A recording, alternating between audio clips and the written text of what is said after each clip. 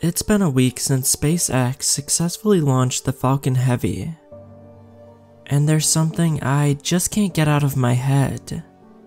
For those who somehow haven't heard, on February 6th, Elon Musk launched his personal Tesla Roadster into orbit in order to demonstrate the viability of cheap, reusable payload delivery systems in space. Inside the cherry red Roadster was a dummy in one of SpaceX's pressure suits.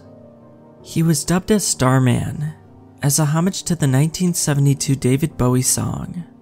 Apparently, a couple of other Bowie tracks were playing through the speakers as well. But humans can't hear sound in space, so nobody can know that for sure. Along with these, a copy of The Hitchhiker's Guide to the Galaxy was put in the glove box and the display in the center read, Don't panic, in reference. Below this video, I have linked a recording of the live feed for anyone who wants to see it.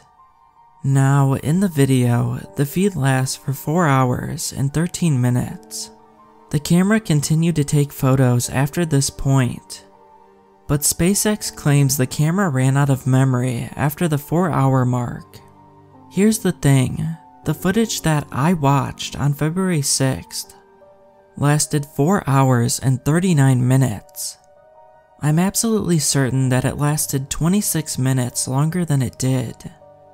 I've spent the last week talking to everyone I can, trying to see if anyone has seen the full version of the video, but everyone says it ended at 4 hours 13 minutes and 11 seconds, with the shot of Starman in the Roadster pointing forward into the darkness.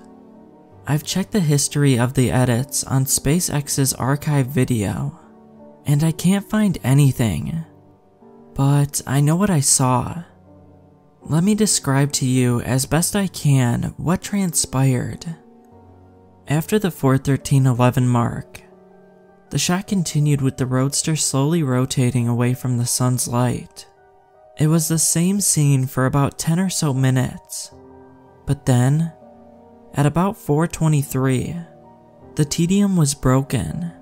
If you looked closely in the other shots, you'll have seen the miniature Hot Wheels car just under the windshield, complete with a little starman to keep it company. A cute gag, an example of Musk's childlike sense of humor. But then, the little figurine started blinking with a tiny yellow light. It looked like there was an LED planted inside its head. This continued for about two minutes, with no apparent effect. After a period of nothing happening, the blinking abruptly stopped. Then Starman twitched his left arm. I blinked my eyes in disbelief, thinking I had hallucinated. The screen which had previously displayed Don't Panic, flashed briefly. The pixels distorted and switched between colors before it shut off completely. About 30 seconds later, it came back on. It now read, Wake up. Starman lifted his head from his slouched position. Somehow, he lifted his left arm completely off the windowsill the fact that what was supposed to be a lifeless dummy was now moving wasn't what disturbed me the most. It was the deliberate nature of the motions, the quivering of the joints as they slowly readjusted themselves. Almost as if whatever was inside the suit was afraid. The message flashed again, and Starman turned his attention to the distorted screen. Hello, Starman. The screen blinked rapidly, instantly displaying the next message. You know your objective. Starman seemed to stare at the screen.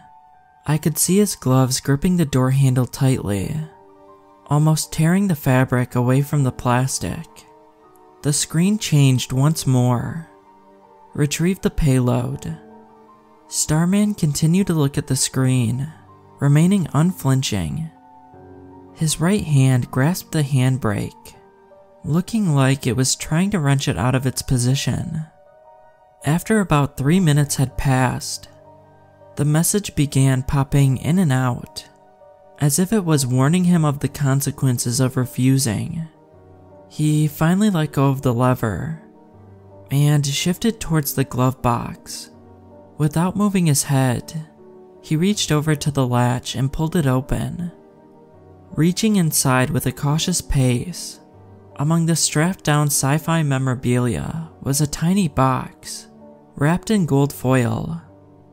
Without hesitation, Starman scooped it up and brought it to his chest, holding it in his cupped hands like a tiny baby animal.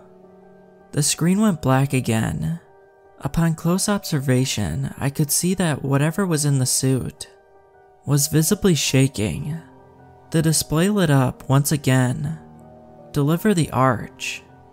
I was so busy looking at the screen that I didn't notice a blue light creeping into view from the upper right hand corner of the live stream. When I examined it more closely, I realized it was nearing the roadster at a frightening rate. Starman turned his helmet towards the incoming object and began tugging at his seatbelt with his arms, keeping the rest of his body still. The intensity of the tugging increased when he realized that the light was beginning to become blinding. This continued for five straight minutes. For every second that passed, I was watching whatever was in the suit violently yank the cloth of the restraints, still staring in silent fear at the projectile. At about the 4 hour and 37 minute mark, the light began to fill the camera's view of the scene. The right half was almost completely obscured when the Roadster's display changed for the final time. Don't panic. In the minute before the feed cut to black, Starman was tearing at the belt, clutching the foil covered box, staring helplessly as the light consumed the entirety of what was visible on the computer screen. The last few seconds of video simply showed a still of the last photo SpaceX received from the Roadster before connection was lost. I've questioned what I saw countless times, trying to make sense of it. I've tried to convince myself it was just a dream I subconsciously believed was real. Or maybe just some nightmarish hallucination. What the hell was an arch? Had I watched too many sci fi movies? I spent all of last week trying to convince myself that I'm not some crazy conspiracy theorist. And up until today, I believed it. But then I found an article that I'll link below this video. Apparently, an arch is a disk that contains a ridiculous amount of data. SpaceX claims that the example launched with the Falcon only includes the work of Isaac Asimov. Now that I know what I saw has to be true, I can only speculate. What was on that disk that was so important that it had to be hand delivered into space? Who or what was inside the Starman spacesuit? What was that blue light? I don't know if I'll ever see a definitive answer to any of these questions. All I can think about right now is that last photo. After seeing the suit move, it just feels wrong to see him back in that pose, like his last ounce of free will was sapped away. Have any of you seen these last 26 minutes of footage? I need to know that I'm not just going crazy.